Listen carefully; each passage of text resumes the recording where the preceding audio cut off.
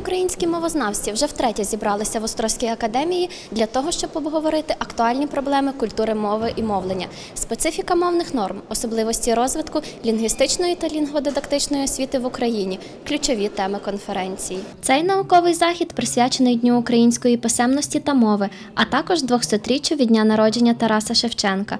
Упродовж двох днів представники найвідоміших українських вишів працювали у чотирьох секціях. На пленарному засіданні мали нагоду представити свої напрацювання мовознавці, чиїми підручниками користуються студенти і викладачі усієї України.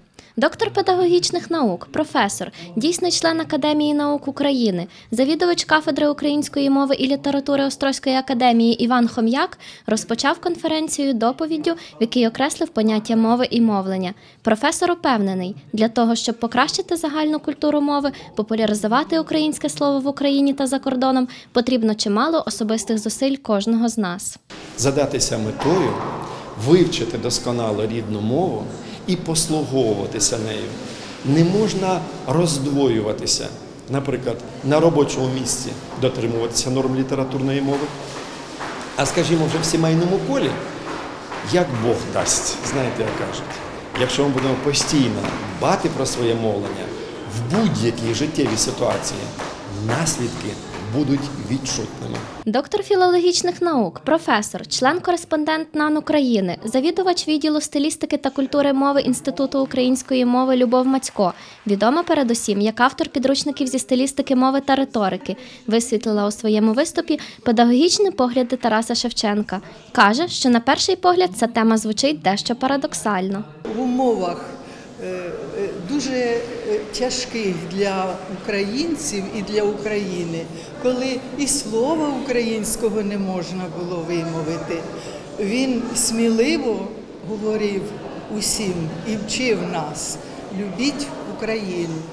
Він спромігся на такий подвиг, як видання букваря южноруського українською мовою, що взагалі було ну, неможливим і нечуваним.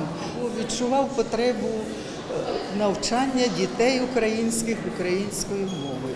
Ніна Голуб, доктор педагогічних наук, завідувач лабораторії навчання української мови Інституту педагогіки, наразі досліджує культуру діалогу на уроці української мови.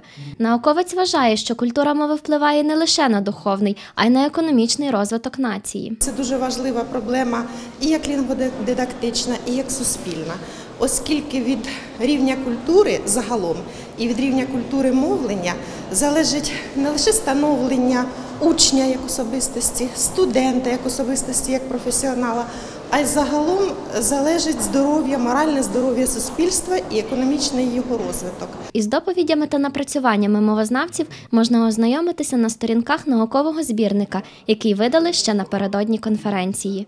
Юлія Яручик, Олександр Пахальчук. Новини Острозької академії.